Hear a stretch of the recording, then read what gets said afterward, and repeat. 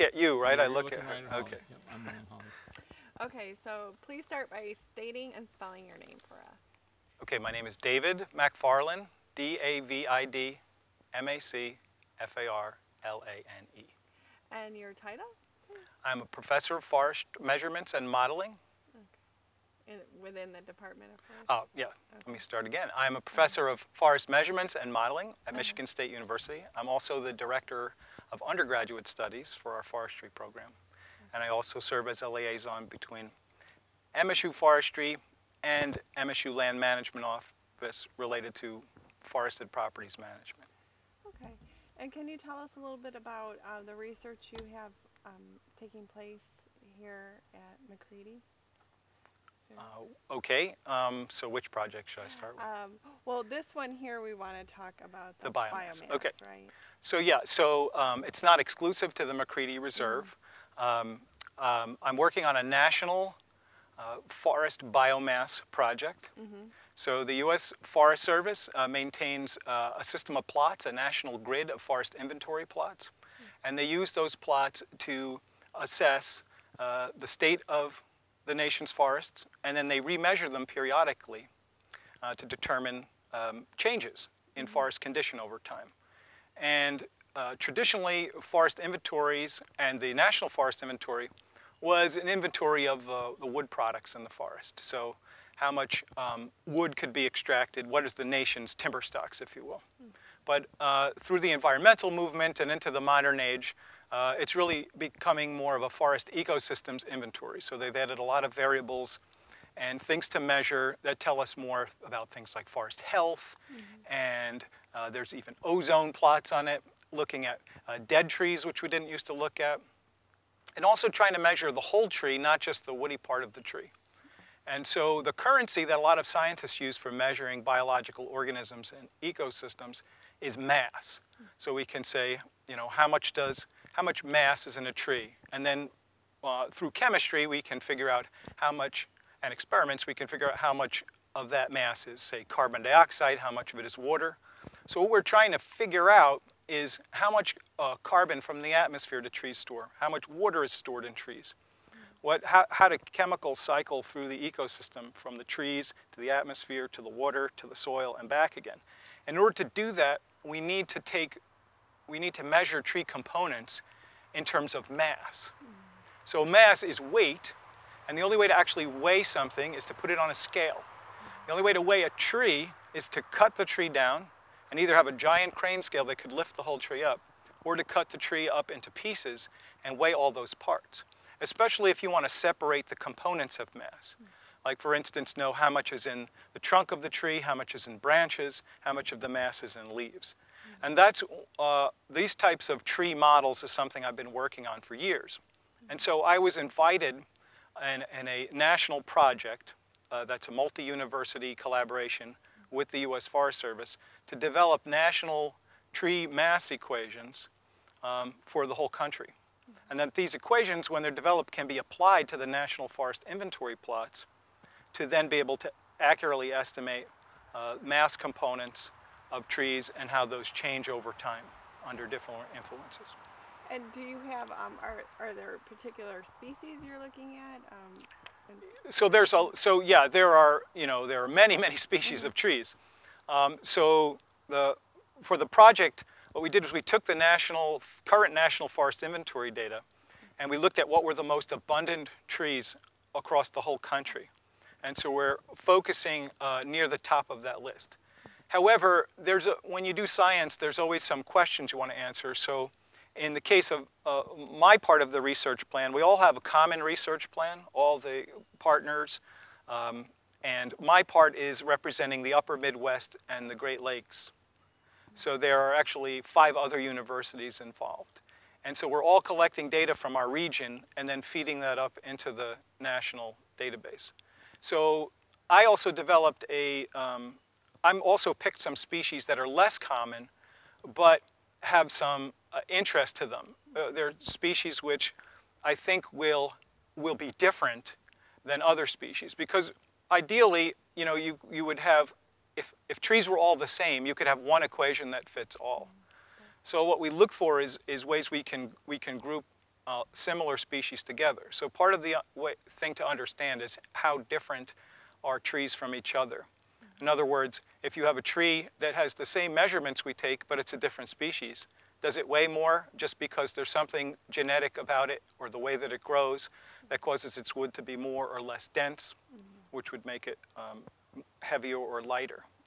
Um, trees are under both environmental influences, which affect how they grow and how much mass they gain. And so we're also looking uh, across multiple different locations and across the country to look at geographic variation. How does climate, how does soils, how does um, the growing conditions affect the mass of the tree and how the tree spreads mass throughout it. So if you think of the basic architecture of trees, you know, we have what we call hardwood trees. Hardwood trees spread their branches wide, whereas a lot of softwoods or conifers tend to come to a point at the top.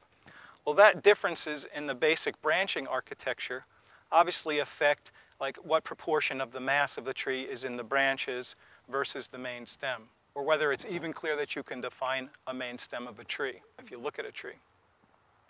So we've picked both conifers and hardwoods. We've picked species that we know have lighter woods, species that we know have heavier woods, species that are more tolerant of shade versus species which like to grow in, in open sunlight. And so we're uh, going to be comparing all these different variables to try to understand uh, from a basic science perspective what are the things that affect tree mass.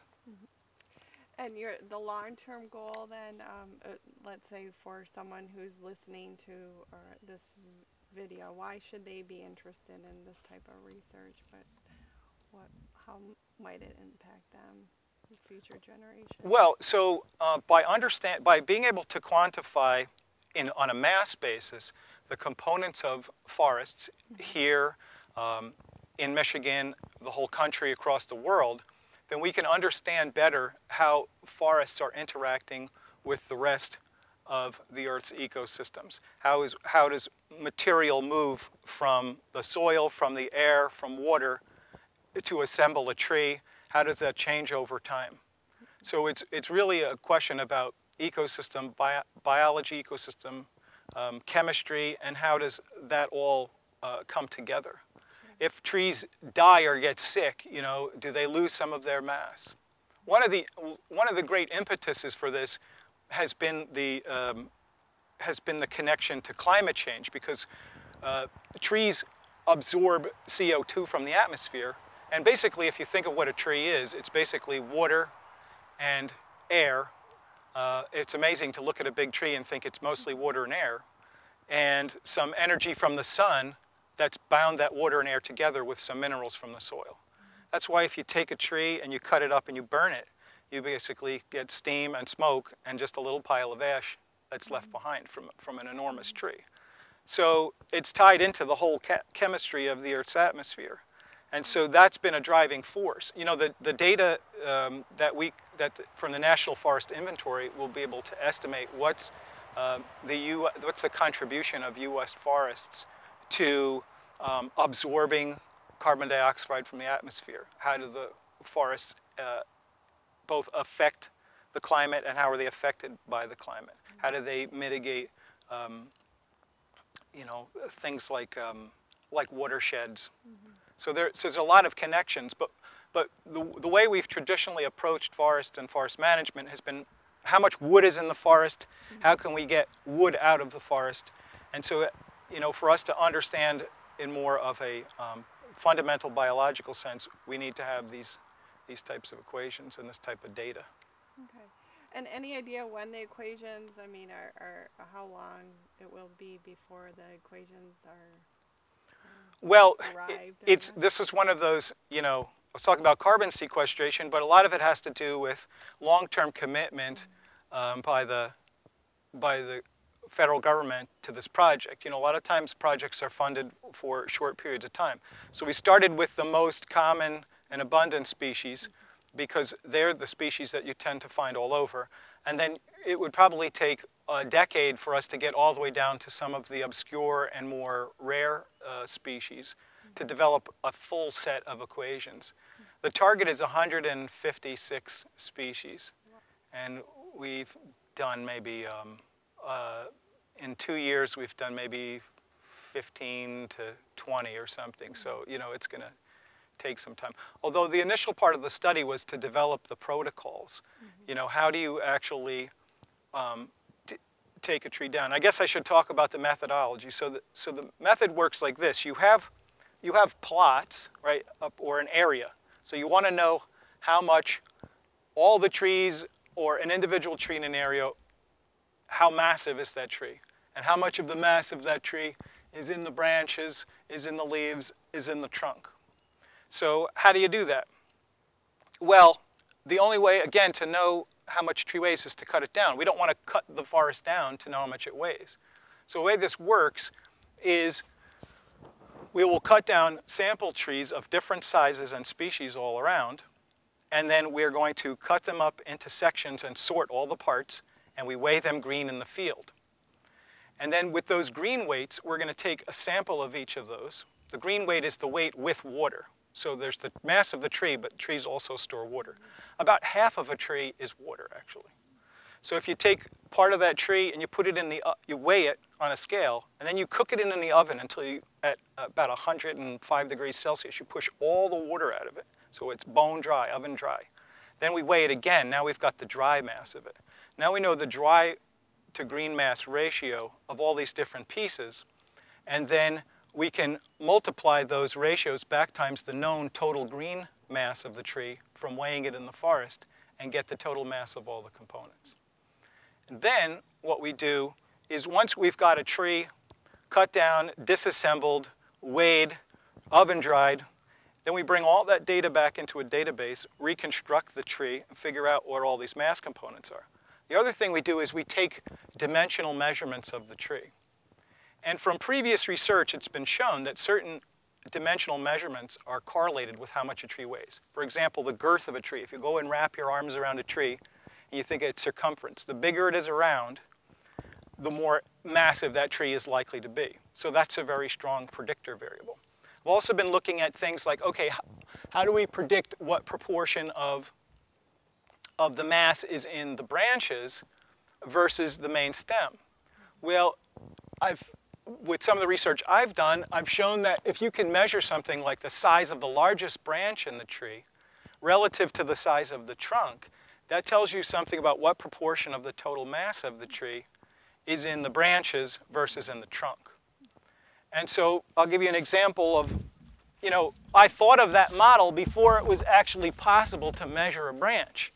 And then uh, a few years ago, uh, Haglöf of Sweden invented this laser caliper so, you know, the science of forest measurement has not only changed thematically from a timber inventory to a whole ecosystem inventory, but forestry has been able to take advantage of all the advances in science like GPS technology and in particular laser technology.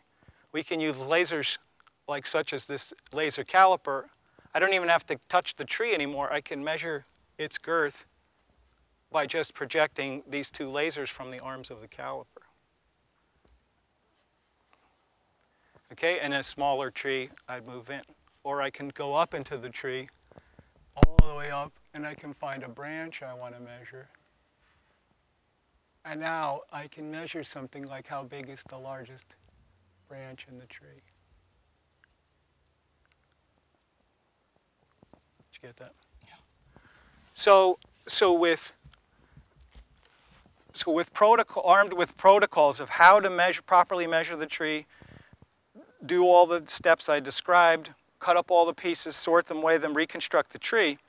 Then we take that data and all of these different measurements of the tree, and we try to isolate which are the key measurements that you would take on a standing tree to feed into the mathematical equation that then predicts the mass of the tree. So after we collect the data, then I'll take the data and my colleagues, we're going to build mathematical models which will process the data and then it will uh, evaluate um, how, which variables are the, the most effective at estimating how massive a tree is and its components. And then on top of that, we've also been looking at things like cost efficiency. So, and how much training does it take for a person to be able to take the measurements. So it, we want to keep the measurements as simple as possible. So an eff- efficient system would be if we could just go up and take one cheap measurement of a tree or of a set of trees in a group and then feed that into an equation and get an accurate estimate of mass. Um, it's a bit more complicated than that, uh, but we're learning a lot about it and the science of you know tree mass estimation and standing tree mass estimation is improving uh, as part of this project.